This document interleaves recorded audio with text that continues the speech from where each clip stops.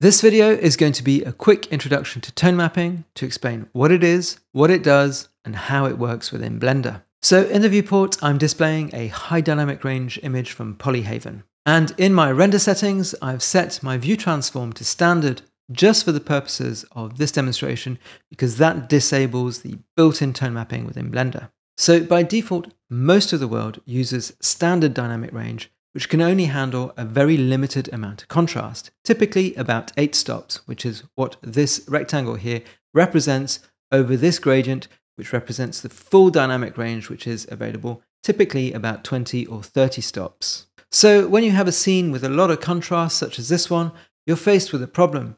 You can either expose for the midtones, as I'm doing here, or for the shadows, or the highlights. And this is very similar to old school photographers shooting slide film, which was very limited in terms of the amount of contrast it could handle. And so what I can do when faced with a scene like this, let's say I want to expose for the highlights outside of the window, I would simply adjust the exposure until they look right. And I've moved this rectangle over the highlight region. Highlights are looking really nice, but of course everything else falls outside of the range that we can expose for, and so it's all very dark, if not completely black. Alternatively, of course, I could adjust the exposure to expose for the shadows, and then we have the opposite problem. The shadows are nice and bright, but the midtones and the highlights are all completely blown out. And so this is the problem that tone mapping attempts to solve. If I go back to exposing for the midtones, I can apply some tone mapping. And what that's going to do is to take this highlight region here and compress it so that it fits within the available dynamic range, like this.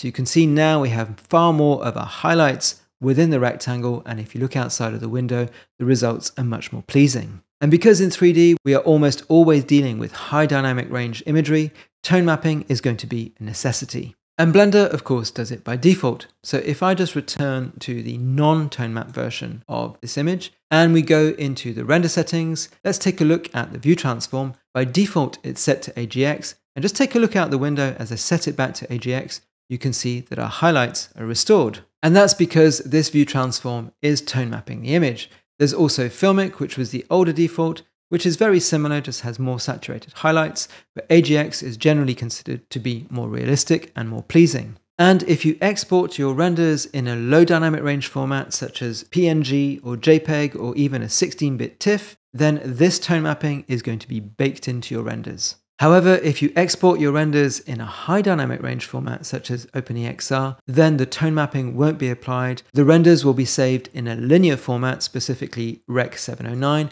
and if you open them in Photoshop or DaVinci Resolve, they're going to look like this. And that's because it just doesn't make sense to apply tone mapping to a high dynamic range image. You want all of the original linear data to be preserved. And that's because the assumption is you're going to be tone mapping those renders yourself further down the line in whatever post-processing software you're using. So if you've ever exported a render from Blender in a high dynamic range format and wondered why the output doesn't match the viewport, this is the reason why. And if you open your renders in Photoshop or in DaVinci Resolve and you want their appearance to match the results that you had in Blender, you are going to need to apply the same view transform. And that's something we'll look at in the next video, so keep an eye out for that.